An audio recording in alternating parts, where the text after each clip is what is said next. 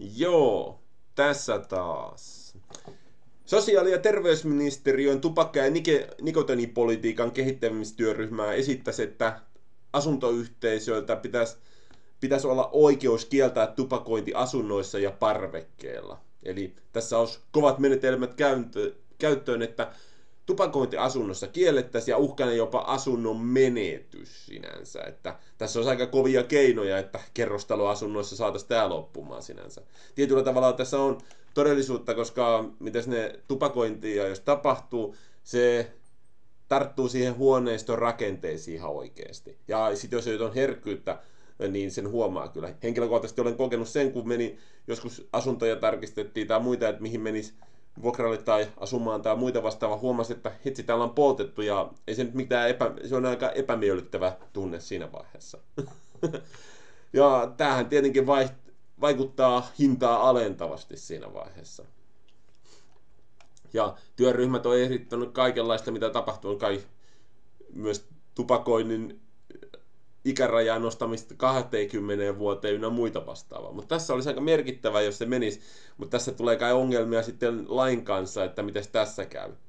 että jos taloyhtiölle tulee tällainen oikeus, miten sitä valvotaan ja miten sitä toimeenpantaisiin sinänsä, että asunto otettaisiin jopa haltuun siinä vaiheessa. ja tässähän onkin sitten mielenkiintoista, millä tavalla eri eduskuntapuolueet sanoisivat tähän asiaan, että niin, asunnottomuutta halutaan vähentää, mutta jos se henkilö tupakoi, niin se ei saa asuntoa niin mitäs tässä sitten tehdään? Ja jos on oikeasti niin kuin joku nikotiiniriippumus tai sellaisia riippuvuuksia ja muita ongelmia, niin se ei halua millään lopettaa sitä. Eli tämähän on aika mukavaa. Ennenhän pikkupojat yritti, kun ne yritti polttaa, että yritti mennä piiloon jonnekin, ettei ole, niin nyt tekee aikuisetkin sitä voi tehdä samoin.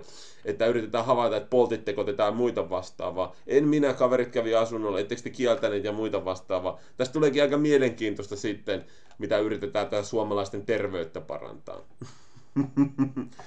no, saa nähdä, miten onnistuu sinänsä. Nythän yritetään kaikenlaista niin kuin, fyysistä aktiivisuutta, kun armeijassakin alkaa läskireservi tulla niin isoksi, että pelataan puolustuskyvyn puolesta sinänsä. Ei se tupakointikaan ja alkoholikaan muu auta, auta hirmuisesti asiaa.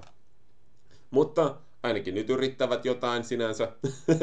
Mua itse asiassa kiinnostaisi, että jos ne oikeasti laittaisi tällaista, että lakiin tai muita vastaavaa, että tupakointikielto olisi sallittu. Mä mietin, että missä vaiheessa tulee kunnon niin kuin oikeustaisteluita, että miten tässä menee ja mitä korkein oikeuskin joutuu sanomaan. Sinänsä, jos joku haluaa katsoa, että sillä on oikeus tehdä asunnossa ja muita, mua ei voi karkottamaan asunnotan tai muita vastaavaa, tai muita mä oon ostanut tän ja niin päin pois sinänsä. Niin siinä onkin sitten vähän yksityisyyden omaisuuden turvaa ynnä muita vastaavia oikeuksia tulee vähän. Mä, mä oikein odotan, että teet tämä laita sille oikeus ja katsotaan, mitä sitten lähtee tapahtumaan. Miten monen sotku varmasti tulee sinänsä, ja olisi mielenkiintoista nähdä, miten kävisi siinä vaiheessa. Eli kohta voi olla, että ei vaan pikkupojat piilottele sitä, että hei, tuli poltettua. Nyt on kohta ne aikuisetkin. Tässä kaikki. Jatkoja.